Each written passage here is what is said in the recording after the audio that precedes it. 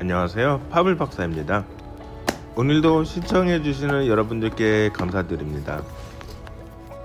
영상 보시기 전에 좋아요 한 번씩 부탁드립니다. 감사합니다. 지난 11월 4일경 채집한 엽초사슴물레 에벌린인데요. 혹시 기억하고 계신가요? 그때 채집한 유충이 두 마리 말고도 어, 몇 분 사이에 한 마리가 더 채집이 되었어요 같은 구간 그리고 한 폐목에서 어, 채집이 되다 보니 파블 박사 생각에는 한 부모로부터 그 태어난 어, 같은 어, 혈통이 아닌가 싶습니다. 그래서 이 아이들에게 각각 이름을 지어주기로 했어요.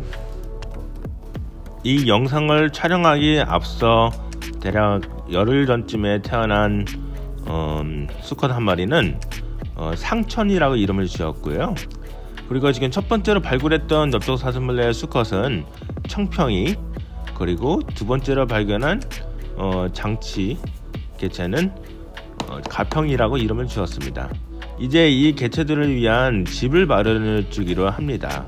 먼저 이제 인두기로 구멍을 뚫고요. 그 다음에 지금부터 매직을 선보여 드리도록 하겠습니다. 자 가까이 한번 보십시오. 짜잔!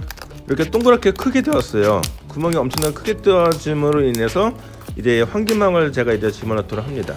환기망을 이제 그 뚜껑에다가 씌우고 그 다음에 완전히 손으로 손톱으로 꾹꾹꾹 눌러줘요. 그래서 완전히 이제 그 들어갈 수 있도록 해줍니다.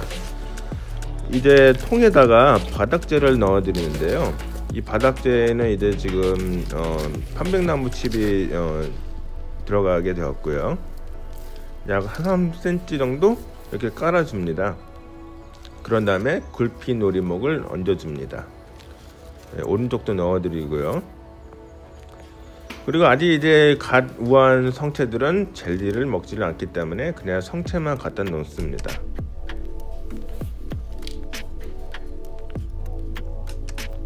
아직 그 배 색상이 빨간색이는 부분이라 아직 좀 많이 약하기 때문에 앞으로 여기서 한 2주 정도 더 어, 보관한 다음에 그 다음에 이제 젤리를 반 등분 잘라서 예, 넣어 보기로 합니다.